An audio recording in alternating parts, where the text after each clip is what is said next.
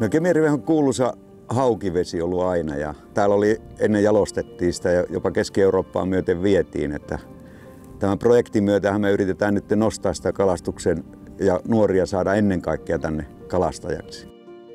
Hauki on pääkala, mitä nyt on pyydetty, mutta onhan tässä hyvä ahvenkanta, säynäjää löytyy, muikkua ja siikaakin jonkun verran, mutta sekin on vähenemässä määrin. Ja kuhaa tietysti pyydetään tuosta, kun kutu on mennyt ohi. Niin.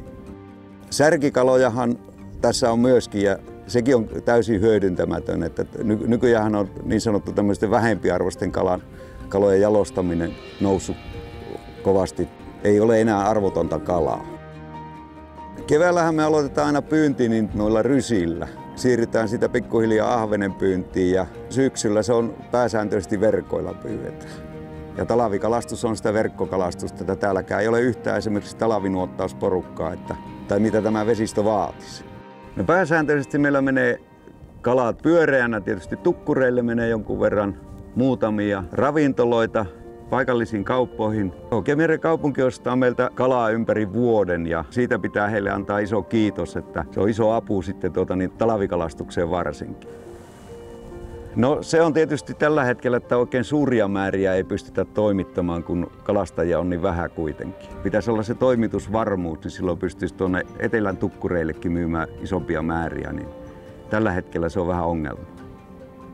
Ja tämän vuoksi me tarvitaan nuoria henkilöitä, että me saataisiin tuota lisää tavaraa markkinoille.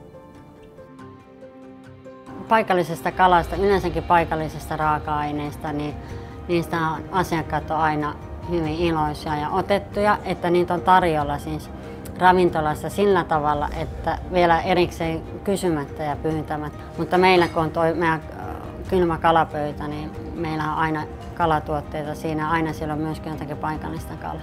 Suomalaiset asiakkaat on hyvin onnellisia siitä kaiken kaikkiaan, että on paikallisia tuotteita on saatavilla. Ja sitten eritoten vielä kasvisruuan ja kalaruuan niin kuin kysyntähän kasvaa koko ajan. Että kyllä kala on niin kuin semmoinen ihan ykkösjuttu.